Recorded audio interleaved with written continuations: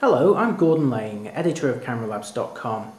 I'd like to give you a brief video tour around the Canon PowerShot SX20 IS. Here it is, the SX20.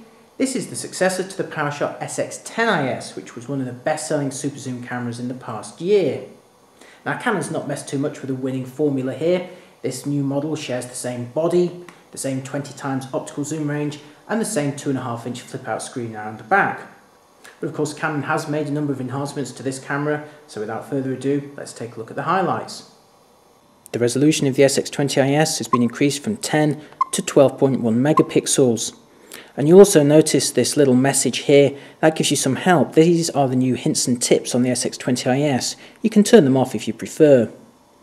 If I press the display button, you can see the compression options. I can either shoot with fine compression or normal compression. Eagle-eyed Canon followers will notice that the superfine JPEG option of the earlier model is sadly no longer present, so the files are fairly compressed on the SX20IS. You'll also notice that there's no RAW files. This is a key difference between this model and the Panasonic or indeed the higher-end Canon SX1IS. The headline feature remains the 20 times optical zoom range that's equivalent from 28 to 560mm. This takes you from wide angle all the way to really serious telephoto coverage. The SX20IS is equipped with the same 2.5 inch screen as its predecessor, and like that model, when you turn the camera on its side, the image flips to always remain upright. Much more importantly though, this is a fully articulated monitor, which means you can flip it out and twist it to almost any angle. This is very useful when you're composing high over the heads of crowds, or equally at very low angles. You could also point it at the subject for crafty self-portraits, or twist it around and back on itself for protection. This articulation gives the SX20IS enormous flexibility and it's a key advantage it has over its arch rival the Panasonic FZ35 or FZ38.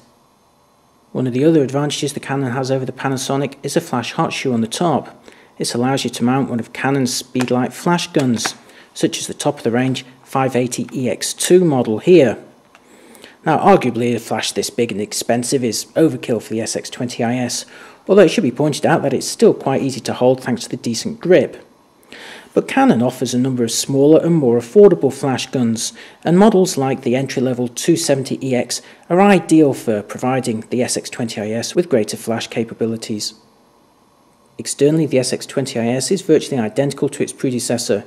You'll find these stereo microphones at the front of the camera the little flash unit that lifts up, the hot shoe on the top for mounting an external speedlight flash gun, a variety of shooting modes including full manual, around the back that 2.5 inch screen with a wheel alongside that allows you to quickly scroll through various menu options. So what is the difference exactly? If I turn the camera off I'll show you around the side. The SX20IS is now equipped with an HDMI port. If I flip this out you can see that connected below the USB port. This allows you to make high definition slideshows on HD TVs. As before, the memory card slot is on the side. It takes SD memory cards. And by having this door on the side, it means you can access the cards while the camera is mounted on a tripod. And finally, looking underneath the camera, you can see the SX20IS is powered by four AA batteries. These may be larger and heavier than a typical lithium ion rechargeable pack, but you can buy these almost anywhere in the world. Canon only supplies this camera with alkalines though, which are disposable, so you should really be replacing these with some rechargeable batteries as soon as possible. We're outside with the Canon SX20IS, and you've already seen how much this camera can zoom in, but I'm just going to show you once more. That is a massive optical zoom range at your disposal, but you'll notice as always, I'm wobbling a bit here, but you can of course enable stabilization. You have to go into the menu to do that. I'm going to put the IS mode to continuous. Now let's see if that's improved matters. As you can see that's much better than before. I'll just show you how quickly this camera can autofocus. It's not too bad. Move it over here. That's okay there. I'm going to zoom back out again now and show you various graphics on the screen or in fact take this opportunity to just zoom in on this paraglider here And that's the beauty of a super zoom camera that you can suddenly go from a big wide landscape view here to zooming in on some action there. Now by pressing the display button here I can overlay various graphics on the screen. I've got an alignment grid here and also a live histogram and you can choose to switch either of those off if you prefer. Then it switches back to the electronic viewfinder here and now back to the screen. Now in order to change some settings we can press this Func set button here and you can adjust things like the white balance, colour effects, bracketing, flash options, metering, the shooting mode, the video quality and also the still quality. Now if I go back to the video quality here you can see it's currently set to record in its VGA mode. If I set that to its new high definition 720p mode notice what's happened here. You can see this very thin white border here. This is showing you the frame that you would shoot with if you were then going to start filming video. Remember with this camera you also have this big red record button here so you can start filming at any point. This framing guideline allows you to then see exactly what you're going to capture. The biggest upgrade on the SX20IS is its brand new HD movie mode and you're watching an example of it right now. I'm stood about one metre in front of the camera and the sound you hear is that recorded by its built-in stereo microphones. The SX20IS can record 720p video at 30 frames per second. Unlike other recent Canon cameras, this is encoded using the H.264 format and stored in a QuickTime movie wrapper. The maximum recording time is just under 30 minutes per clip, or when the file reaches 4GB, whichever happens first. If you're shooting HD, we found that you generally ran out or reach that 4GB limit after about 22 minutes of recording. But of course you can then just start recording a new file if you like. Now let's see how you might use this movie mode in practice. This first sequence was filmed with the SX20IS mounted on a tripod and smoothly panning from left to right. And I should note that the audio you'll hear narrating all of these video clips is recorded with the SX20IS. It is possible to optically zoom the lens while you're filming, there from wide angle all the way to telephoto, and now I'm going to zoom all the way back out again and as you can see the camera manages to keep the image in focus without any obvious searching. This is a really good result.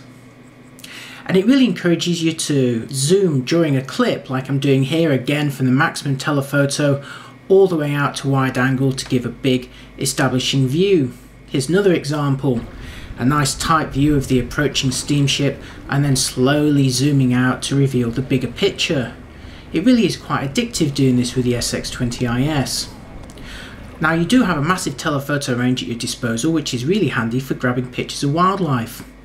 In the background there you can see how the out of focus effects look on the SX20. You also have a really great macro facility at your disposal. You can get really close to objects and of course film them while you're doing so. Under low light conditions, a camera with a sensor of this size is never going to produce really clean results, but to be fair, it's comparable to that of most HD camcorders. And finally though, I can't leave without showing you another zoom. Here we are fully zoomed in and getting ready to zoom all the way out for a big action finish. Grabbing shots like these really is a highlight of using the camera. The enhancements on the new SX20IS aren't exactly radical ones over its predecessor, but by improving a camera that was already one of the best-selling super zoom cameras of the past 12 months, well, a great camera's just got even better. Of the new improvements, the highlight is unsurprisingly the HD movie mode, and interestingly, coupled with the HDMI port on this camera, it comes that much closer to the higher-end SX1IS. And certainly if your budget will stretch to that model, it's one you should also be considering. It shoots continuously four times faster than this model and offers full 1080p HD video recording along with RAW files and a widescreen monitor and viewfinder.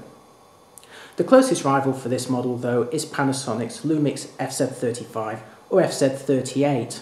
They cost roughly the same and have very similar features. Drill down though and there are a number of differences between them that might make one model more appropriate than the other for your particular requirements. So, to make the choice easier, I've gone over all of those differences in detail in my full review at cameralabs.com. I've also compared the image quality when you zoomed out and also fully zoomed in. And there's video samples taken with both cameras that you can download and evaluate on your own computer. So if you're in the market for a super zoom camera, head on over to cameralabs.com. There you'll find my full reviews of the PowerShot SX20IS, along with reviews of Panasonic's FZ35 or FZ38 and Canon's SX1IS.